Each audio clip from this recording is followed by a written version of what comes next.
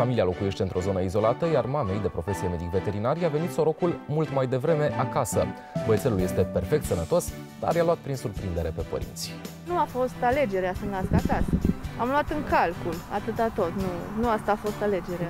Soția am întâlnit-o aici, am împărțit munții cu ea din momentul ăla. Mi-a spus o prietenă foarte dragă, mă, pe tine te cheamă Pământul, pentru că am plecat din țară când aveam 21 de ani și am stat departe de casă aproape 20 de ani. Și la țară poți să ai același confort pe care l-ai în oraș, doar că nu ești nevoit să ieși pe balcon să iei o gură de aer.